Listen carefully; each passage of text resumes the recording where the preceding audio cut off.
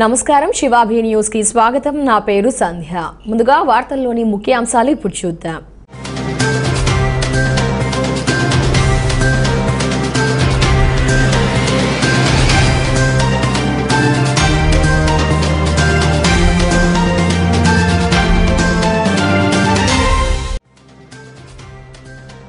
వ్యాధుల బారిన పడకుండా జాగ్రత్తలు తీసుకోవాలి. చిల్లకూరులోని అంగన్వాడీ కేంద్రంలో వైద్య శిబిరం నిర్వహించి గర్భవతులు వృద్ధులకు మందులు అందజేసిన వైద్యాధికారి డాక్టర్ భావన్ నారాయణ.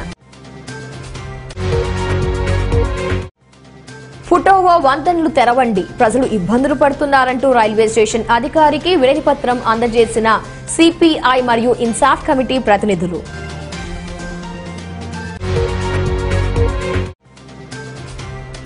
ఉపాధ్యాయులకు క్రికెట్ పోటీలు. గురు పూజోత్సవాన్ని పురస్కరించుకొని క్రికెట్ పోటీల జట్ల వివరాలని వెల్లడించిన ప్రగతి సేవా సంస్థ ప్రతినిధులు.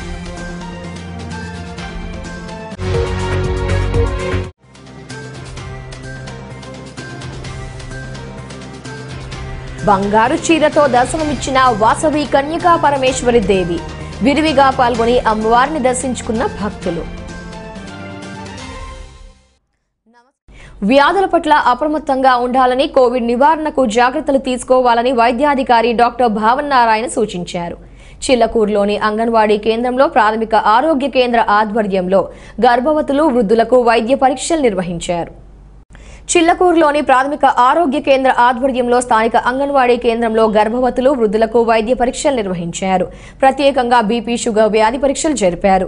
అనంతరం వైద్యులు వైద్య సలహాలు అందించారు. ఈ సందర్భంగా వైద్యాధికారి డాక్టర్ భావన్ నారాయణ మాట్లాడుతూ గర్భవతులు బలవర్ధకమైన ఆహారం తీసుకోవాలన్నారు. అప్పుడే తల్లి బిడ్డ క్షేమంగా ఉంటారన్నారు. కోవిడ్ నివారణకు జాగ్రత్తలు తీసుకోవాలన్నారు. వ్యాధుల పట్ల అప్రమత్తంగా ఉంటూ మందులు వాడాలని డాక్టర్ వివరించారు.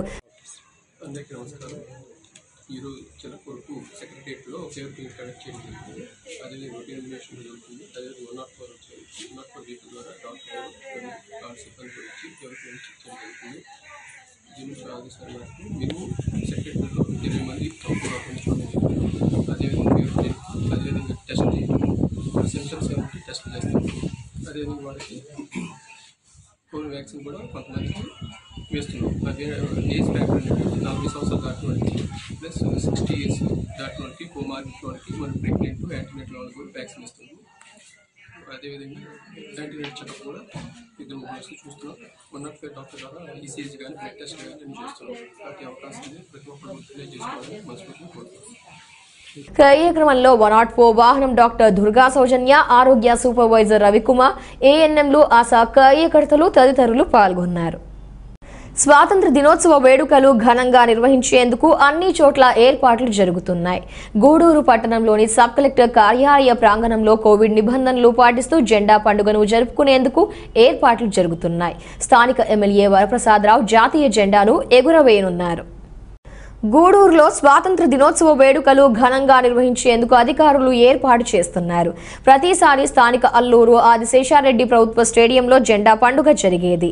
ఈ దఫా పట్టణంలోని సబ్ కలెక్టర్ కార్యాలయ ప్రాంగణంలో జెండా పండుగ నిర్వహించేందుకు ఏర్పాట్లు జరుగుతున్నాయి. కోవిడ్ నిబంధనల ప్రకారం స్వాతంత్ర దినోత్సవ వేడుకలు జరపాలని అధికారులు నిర్ణయం తీసుకున్న నేపథ్యంలో సబ్ కలెక్టర్ కార్యాలయ ప్రాంగణాన్ని ఎంచుకున్నారు. ఈ వేడుకలకు స్థానిక ఎమ్మెల్యే వరప్రసాదరావు ఆర్డీఓ మురళీకృష్ణ ఇతర శాఖల అధికారులు సిబ్బంది పాల్గొననున్నారు.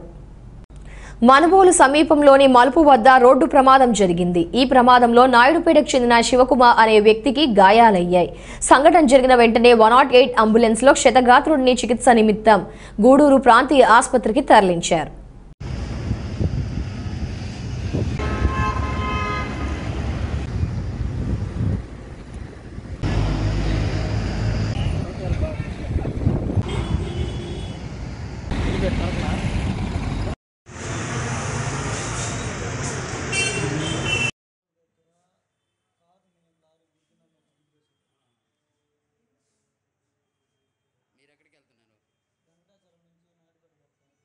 రైల్వే స్టేషన్ ప్రాంతంలో ఉన్న ఫుటోవా వంతెనలను వినియోగంలోకి తీసుకురావాలని ఒకటవ రెండవ పట్టణ ప్రాంత ప్రజలకు ఇబ్బందులు లేకుండా చర్యలు తీసుకోవాలని సిపిఐ పట్టణ కార్యదర్శి కాళేశ కోరారు. గూడూరు పట్టణంలోని రైల్వే స్టేషన్లో స్టేషన్ ఉప సూపరింటెండెంట్కి సిపిఐ మరియు ఇన్సాఫ్ కమిటీ ఆధ్వర్యంలో వినతి పత్రం అందజేశారు. పట్టణంలోని రైల్వే స్టేషన్లో స్టేషన్ ఉప సూపరింటెండెంట్కి సిపిఐ మరియు ఇన్సాఫ్ కమిటీ ఆధ్వర్యంలో నాయకులు సమస్యలపై వినతి పత్రం అందజేశారు. ఒకటవ రెండవ పట్టణ ప్రాంత ప్రజలు ఎదుర్కొంటున్న సమస్యలు వారికి వివరించారు. ఈ సందర్భంగా సిపిఐ పట్టణ కార్యదర్శి కాళేశ మాట్లాడుతూ ఒకటవ రెండవ పట్టణ ప్రాంతాల ప్రజలు రాకపోకలు సాగించడానికి ఉత్తర దక్షిణ వైపున ఏర్పాటై ఉన్న ఫుటోవో వంతెనలను కరోనా కారణంగా మూసివేయడంతో ఇబ్బందులు పడుతున్నారన్నారు. దీనికి తోడు మూడవ రైల్వే లైన్ పనులు జరుగుతూ ఉండడంతో అండర్ బ్రిడ్జ్ వంతెన గుండా వాహన రాకపోకలు జరగకుండా నిలిపివేశారని గుర్తు చేశారు. ప్రజల ఇబ్బందులు గుర్తించి పుటోవా వంతెనల గుండా ప్రజల రాకపోకలు సాగించేలా చర్యలు తీసుకోవాలని ఆయన వివరించారు. గూడూరు రైల్వే స్టేషన్ ప్రాంతంలో ఒకటో పట్టణానికి నుంచి రెండో పట్టణానికి పోయేదానికి రైల్వే ట్రాక్ దాటడం చట్టరిచ్చా నేరం. దాన్ని సందర్శించి ఫుట్పాత్ బ్రిడ్జిని నడిచిపోయే బ్రిడ్జిల్ని ఒకటికి రెండు నిర్మించారు. నిర్మించే క్రమంలో బ్రిటిష్ హయాం నుంచి ఒక బ్రిడ్జి ఉండేది. దాన్ని అవతలికి ఒకటో పట్టణం రెండో పట్టణానికి పోతూ వస్తుంది కొత్తగా నిర్మించిన దాంట్లో మళ్ళీ అవతలికి యువతలికి పోకుండా దారి కట్ చేశారు. దాని మీద పోరాటాలు చేసి దాని మీద జీఎం గారు సలహా మేరకు ఆయన ఆర్డర్ ప్రకారం మళ్ళీ అవతలికి రెండో పట్టణానికి పోయేదానికి దారి కల్పించారు. కల్పించినప్పటికీ ఇప్పుడు ఏంటంటే కరోనా అని చెప్పి వాటి మీద సాగు పెట్టి ఇప్పుడు సుమారు పాటు సంవత్సరం నుంచి అవతలికి ఇవతలికి ఒకటో పట్టణం రెండో పట్టణానికి కాలినడకన పోయే బ్రిడ్జిని రేకులుగా రేకులు ఏదో అది ఆ పక్క పాకిస్తాన్ అయినట్టు ఈ పక్క ఇండియా అయినట్టు రేకులతో దాన్ని ఫిక్స్ చేసి అసలు పోయేదానికే దారి లేకుండా ఏర్పాటు చేశారు. ఇటీవల రోనా సవరించిన తర్వాత ఆ బ్రిడ్జిని ఆ రేకుల్ని ఇప్పటికి కూడా ఓపెన్ చేయలేదు ఓపెన్ చేయకపోగా ట్రైన్స్ మాత్రం ఒకటేనక ఒకటి చెన్నై గూడూరు చెన్నై ఆ, చెన్నై ఢిల్లీ పోయే ట్రైన్లు మాత్రం పునర్ నిర్మాణం జరిగింది. అయినప్పటికీ గూడూరు నుంచి తిరుపతికి తిరుపతి నుంచి విజయవాడకి పోయే ప్యాసింజర్ యూనిట్లు కూడా ఈరోజు ఏర్పడి ఉన్నాయి అదేవిధంగా ఇంకొక యూనిట్ కూడా నెల్లూరు టు చెన్నైకి ఆరున్నరకి ఒక యూనిట్ ఉంది. వీటికి పోయే ప్రయాణికులకి చాలా ఇబ్బందికరంగా ఉంది. దీన్ని అనేక సార్లు వాళ్ళ దృష్టికి తీసుకొచ్చినప్పటికీ పట్టాలు దాటితే ఆర్పీఎఫ్లు కేసులు పెడుతున్నారు. అదేవిధంగా ఒక ఫ్యామిలీ అవతల నుంచి రెండో పట్టణం నుంచి ఒకటో పట్టణం వచ్చి రైల్వే స్టేషన్ చెన్నైకి పోవాలంటే సుమారు పాటు నాలుగున్నర కిలోమీటర్లు తిరిగి రావాల్సిన అవసరం ఉంది. ఈ ఆయన వెళ్ళిపోయే పరిస్థితి ఉంది. ట్రైన్ వెళ్ళిపోయే పరిస్థితిలో పరిగిస్తే ఎక్కడాలు ప్రమాదాలు జరిగే ప్రమాదం కూడా ఉంది. కాబట్టి తక్షణం ఒకటో పట్టణం నుంచి రెండో పట్టణం పోయే ఫుట్పాత్ బ్రిడ్జిని తక్షణం ఆ రేకుల్ని డిస్పోజ్ చేసి ఖచ్చితంగా పోయే ప్యాసింజర్లకు కానీ ఒకటో పట్టణం నుంచి రెండో పట్టణం పోయే ప్రజలకు కానీ అనుకూలంగా ఏర్పాటు చేయాలని చెప్పి స్టేషన్ మాస్టర్ని కానీ కలిసేదానికి వచ్చాం. ఎస్ఎస్ గారు లే- సూపరింటెండెంట్ గారిని కలిసాం. కలిసి ఆయన పైకి రికమెండ్ చేసి నేను ఖచ్చితంగా అది ఓపెన్ చేపిస్తానని వాగ్దానం చేశారు. ఇంకా మరికొందరు మాట్లాడారు. గూడూరు రైల్వే స్టేషన్ అనేది ఒక ముఖ్యమైన ఒక జంక్షన్. ఇది తిరుపతి మద్రాసు బెంగళూరు కలకత్తా ఇటువైపు చాలా మార్గాలకు ఇది మెయిన్ జంక్షన్గా తయారై ఉంది. ఈ ప్రాంతంలో గతంలో ఉన్న ఫుట్ ఓవర్ బ్రిడ్జ్లను తొలగించి కొత్తగా ఫుట్ ఓవర్ బ్రిడ్జిలు నిర్మించడం జరిగింది. గత ఒకటిన్నర సంవత్సరం నుంచి కరోనా కారణంగా ఫుట్ ఓవర్ బ్రిడ్జిలను లాక్ చేసి పెట్టున్నారు. తాత్కాలికంగా ప్రజలు అవతల నుంచి టూ టౌన్ నుంచి వన్ టౌన్కి వన్ టౌన్ నుంచి టూ టౌన్ వెళ్ళడానికి కూడా ఎటువంటి మార్గం లేకపోవడం వల్ల ప్రజలు చాలా రకంగా ఇబ్బందులు పడుతున్నారు. గూడూరు పడమర గూడూరు నుండి వచ్చే ప్రయాణికులు కానీ ప్రజలు కానీ అనాదిగా వస్తున్న రైల్వే బ్రిడ్జి ఫుట్పాత్లని మూసివేశారు ఇటీవల అధికారులు. ఎందుకంటే ప్రజలకు ఇబ్బ ఏదన్నా అధికారులు ప్రజలకు మెరుగైన చర్యలు చేపట్టాలి కానీ ఏదో నెపం పెట్టి ప్రజలందరినీ ఇబ్బంది కలిగించే ప్రయాణికులకు ఇబ్బంది కలిగించే చర్యలు తీసుకోకూడదు. ఒకటో పట్టణానికి రెండో పట్టణానికి పాదచారులకి చాలా అనుకూలంగా ఉండింది. అటువంటి ఫుట్ ఓవర్ బ్రిడ్జిని దాదాపు ఒకటిన్నర సంవత్సరం నుంచి అటు దక్షిణంగా కానివ్వండి ఇటు ఉత్తరంగా కానివ్వండి రెండు మూసివేయడం వల్ల టౌన్లోకి వచ్చే వన్ టౌన్ నుంచి టూ టౌన్లోకి వచ్చే ప్రజలు చాలా ఇబ్బంది పడుతున్నారు. కార్యక్రమంలో నాయకులు ఎంబేటి చంద్రయ్య అన్వర్ భాషా ఇబ్రహీం షేక్ జమాలుల్లా కవి హషీం చాన్ భాషా హైదర్ అలీ రాహుల్ తదితరులు పాల్గొన్నారు. గురు పూజోత్సవ దినోత్సవాన్ని పురస్కరించుకొని ఉపాధ్యాయులకు ప్రగతి సేవా సంస్థ ఆధ్వర్యంలో టీచర్స్ క్రికెట్ లీగ్ టోర్నమెంట్ను నిర్వహిస్తున్నట్లు ఆ సంస్థ అధ్యక్షుడు కడివేటి చంద్రశేఖర్ తెలిపారు. గూడూరు పట్టణంలోని అల్లూరు ఆదిశేషారెడ్డి ప్రభుత్వ స్టేడియంలో ఏర్పాటు చేసిన సమావేశంలో క్రికెట్ జట్ల వివరాలు ప్రకటించారు. పట్టణంలోని అల్లూరు ఆదిశేషారెడ్డి ప్రభుత్వ స్టేడియంలో ప్రగతి సేవా సంస్థ ఆధ్వర్యంలో సమావేశం జరిగింది. ఈ సమావేశంలో టీచర్స్ లీగ్ టోర్నమెంట్లో పాల్గొనే జట్ల వివరాల్ని ఆ సంస్థ అధ్యక్షుడు కడివేటి చంద్రశేఖర్ ప్రకటించారు. ఈ సన్నాహక సమావేశానికి పది మండలాలకు చెందిన ఉపాధ్యాయ క్రీడాకారులు హాజరయ్యారు. అనంతరం ప్రగతి సేవా సంస్థ అధ్యక్షుడు కడివేటి చంద్రశేఖర్ మాట్లాడుతూ వచ్చే నెల ఉపాధ్యాయ దినోత్సవాన్ని పురస్కరించుకొని టీచర్స్ లీగ్ క్రికెట్ టోర్నమెంట్ నిర్వహిస్తున్నామన్నారు. సంస్థ ఆధ్వర్యంలో తరచూ క్రీడలు నిర్వహిస్తున్నట్లు ఆయన వివరించారు. ప్రగతి సేవా సంస్థ ఆధ్వర్యంలో సెప్టెంబర్ ఐదవ తేదీ ఉపాధ్యాయ దినోత్సవాన్ని పురస్కరించుకొని ఈ నెల ఇరవై తొమ్మిది ముప్పై మన పది మండలాలు ఉపాధ్యాయులకి క్రికెట్ టోర్నమెంటు నిర్వహించడం తల అనుకుంటున్నాం. అదేవిధంగా పది మండలాలు ఉపాధ్యాయులు ఒక జట్టు పదిహేను మంది ఒక మండలానికి పదిహేను మంది ఉంటారు. పదిహేను మందిలో ఇద్దరిని కానీ ముగ్గురిని కానీ మీకు పీఈటీలు కానీ అవైలబుల్ ఉంటే తీసుకోండి.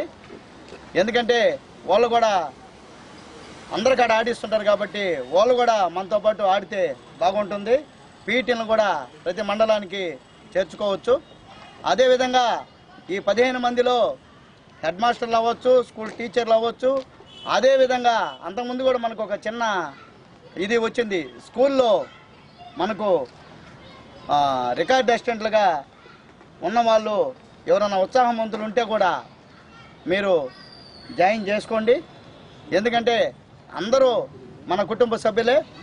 ప్రతి స్కూల్లో మనకు కుటుంబ సభ్యుల్లాగే.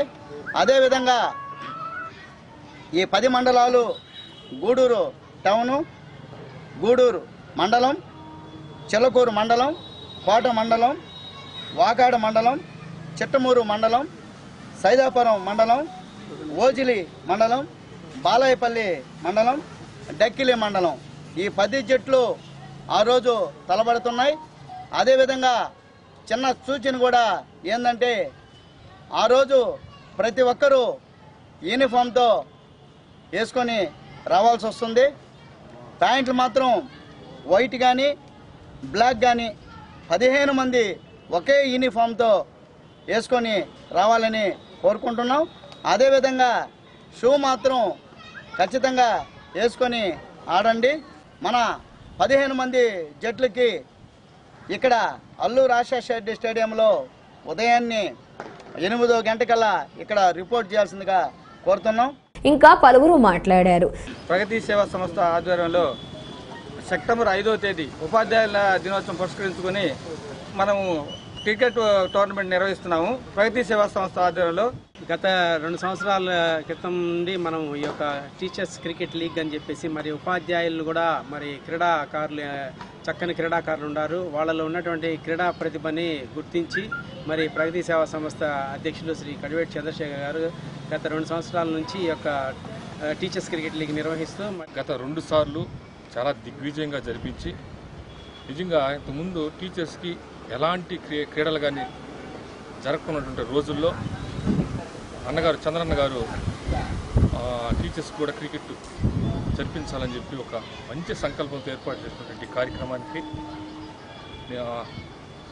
ప్రతి ఒక్కరూ కూడా సహాయ సహకారాలు అందించి కార్యక్రమంలో సంస్థ ప్రతినిధులు ధనంజయారెడ్డి కరీముల్లా పురందర్ రాజు పిల్లల శ్రీనివాసులు తదితరులు పాల్గొన్నారు.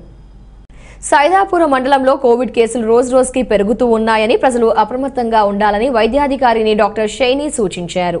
సైదాపురంలోని ప్రాథమిక ఆరోగ్య కేంద్రంలో ఆమె మీడియాతో మాట్లాడారు. ప్రజలు నిర్లక్ష్యంగా వ్యవహరిస్తూ ఉండటంతో కరోనా వైరస్ వేగంగా వ్యాప్తి చెందుతోందని తెలిపారు.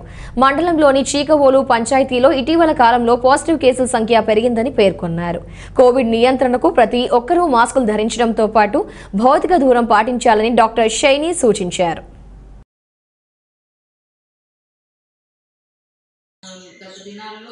నాలుగు రోజులుగా చికోల్లో కేసులు ఒకటి రెండు మూడు అలా వస్తున్న పరి- తరుణంలో వైద్య వైద్యాధికారిగా నేను అదేవిధంగా మా సిబ్బంది అందరం వెళ్ళి ఐసీ యాక్టివిటీస్ అనేది నిన్న దినంగా జరగ జరపడం జరిగింది.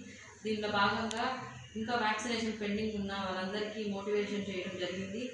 వ్యాక్సినేషన్ పెండింగ్ ఉన్న ముఖ్యంగా ఎస్టీ కాలనీలో అనేక మంది ఇంకా భయంతో అపోహలతోటి వ్యాక్సినేషన్ వేయించుకోకుండా ఉన్నారు. ఇప్పుడు ఎప్పుడైతే కరోనా రావడం జరిగిందో అందరు కూడా వ్యాక్సినేషన్ కావాలని రిక్వెస్ట్ చేయడం జరిగింది. సో అక్కడ ఉన్న బెనిఫిషరీస్ అందరినీ ఐడెంటిఫై చేసి వ్యాక్సినేషన్ ప్రక్రియ కూడా కంప్లీట్ చేయవలసిందిగా సిబ్బంది ఆ, కోరడం జరిగింది. అదేవిధంగా ప్రతి ఒక్కరు కూడా మాస్క్ వేసుకొని బయటకు రావాల్సిందిగా అత్యవసరమైతేనే బయట ప్రదేశాలకు వెళ్ళవలసిందిగా గుంపుగా కూర్చోవడము అవాయిడ్ చేయాల్సి వలసిందిగా అందరినీ కోరడం జరిగింది. అదేవిధంగా కార్యక్రమంలో మండల పోలీసు అందరూ పార్టిసిపేట్ చేసి మాస్క్ వేయని వారికి తమ చర్యలు కూడా తీసుకోవడం ఆదేశాలు ఇవ్వడం జరిగింది.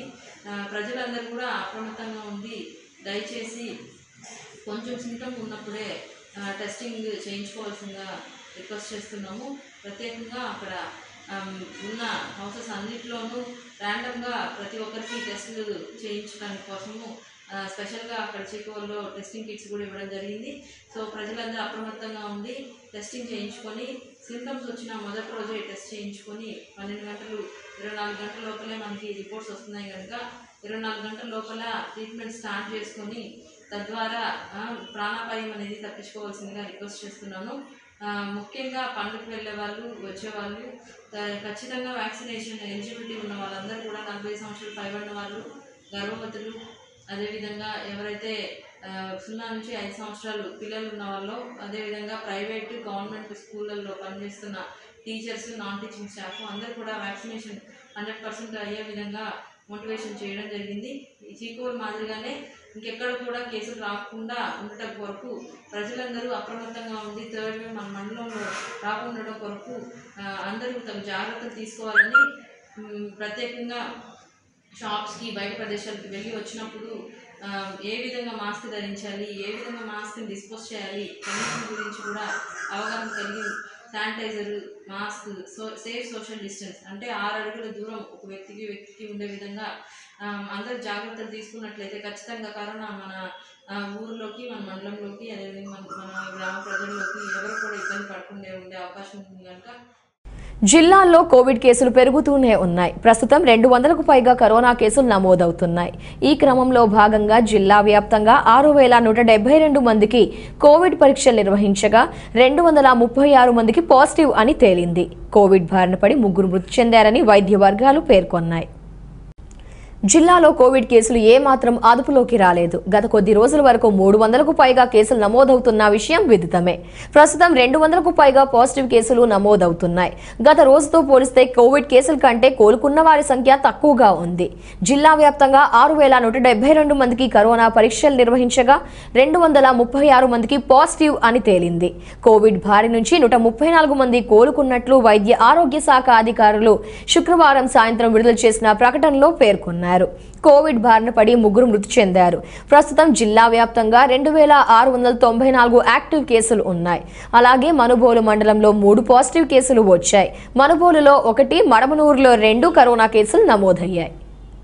గూడూరు పట్టణంలోని బజారు వీధిలో వెలిసి ఉన్న శ్రీ వాసవి కన్యకా పరమేశ్వరి దేవి అమ్మవారి ఆలయంలో శ్రావణ మాసం మొదటి శుక్రవారం సందర్భంగా శుక్రవారం రాత్రి మూల విరాట్టుకు బంగారు చీరను అలంకరించి విశేష పూజలు నిర్వహించారు.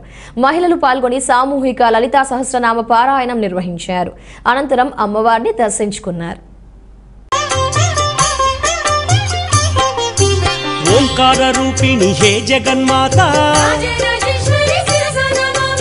ఆనందదాయిని హే జగన్మాత. అంబా శాంభవి హే జగన్మాత.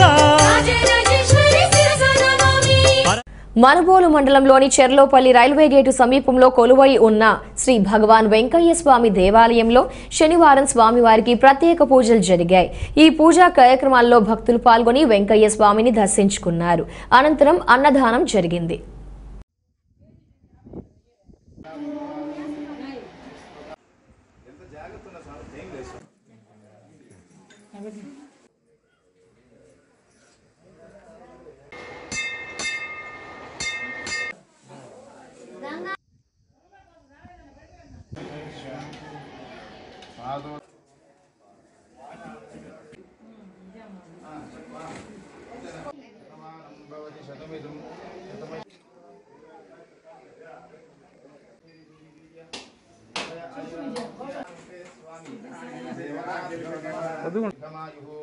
సద్గురు భగవాన్ వెంకయ్య స్వామి దివ్యమంగళ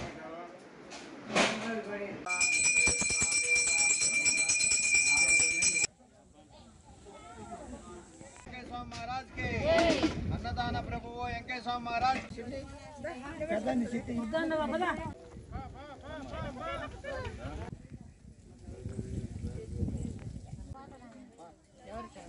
ఆదినారాయణ మనుగోలు గ్రామం చుల్లపల్లి రైల్వే గేట్ దీపాన్ని శ్రీ భగవాన్ వెంకటేశ్వర దేవస్థానం వద్ద ప్రతి శనివారం అదేవిధంగా ఇక్కడే వెలిసినటువంటి కాశీ విశ్వనాథ స్వామి దేవస్థానం వద్ద సోమవారం అన్నదాన కార్యక్రమాలు విరివిగా జరుగుతూ ఉంటాయి. ఈ కార్యక్రమానికి చాలామంది భక్తులు ధాన్య రూపంలోనూ వస్తు రూపంలోనూ స్వామివారి సేవకి ఉపయోగపడేటువంటి పాత్ర బహుకరించడం జరుగుతుంది. సూళ్ళూరుపేట చెందినటువంటి సురేష్ రెడ్డి గారు నూతనంగా ఒక పెద్ద గ్యాస్ స్టవ్ అంతకుముందు ఒక మూడు వందల మంది సరిపోయేటువంటి పాత్రలు అదేవిధంగా ఒక నూతన భాండలు ఇవ్వడం జరిగింది. అదేవిధంగా ఈ స్వామివారి కైంకర్యాల్లో భాగంగా ఆ అన్నదాన కార్యక్రమానికి సుమన్ ట్రేడర్స్ వారు జరిగింది.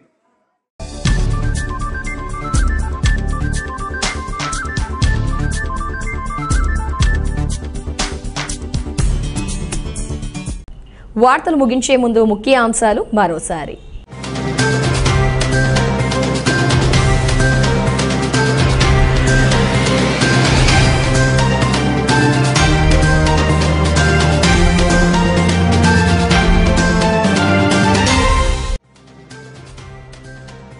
వ్యాధుల బారిన పడకుండా జాగ్రత్తలు తీసుకోవాలి. చిల్లకూరులోని అంగన్వాడీ కేంద్రంలో వైద్య శిబిరం నిర్వహించి గర్భవతులు వృద్ధులకు మందులు అందజేసిన వైద్యాధికారి డాక్టర్ భావన్ నారాయణ. ఫుటోవో వంతెనలు తెరవండి. ప్రజలు ఇబ్బందులు పడుతున్నారంటూ రైల్వే స్టేషన్ అధికారికి వినతిపత్రం అందజేసిన సిపిఐ మరియు ఇన్సాఫ్ కమిటీ ప్రతినిధులు.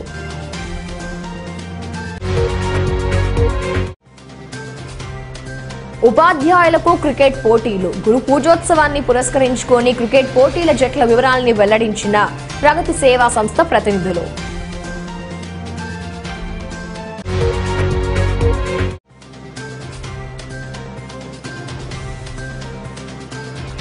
బంగారు చీరతో దర్శనమిచ్చిన వాసవి కన్యకా పరమేశ్వరి దేవి విరివిగా పాల్గొని అమ్మవారిని దర్శించుకున్న భక్తులు. ఇంతటితో శివాభి వార్తలు సమాప్తం. తిరిగి ప్రసారమయ్యే వార్తల్లో మళ్ళీ కలుద్దాం. అంతవరకు సెలవు నమస్కారం.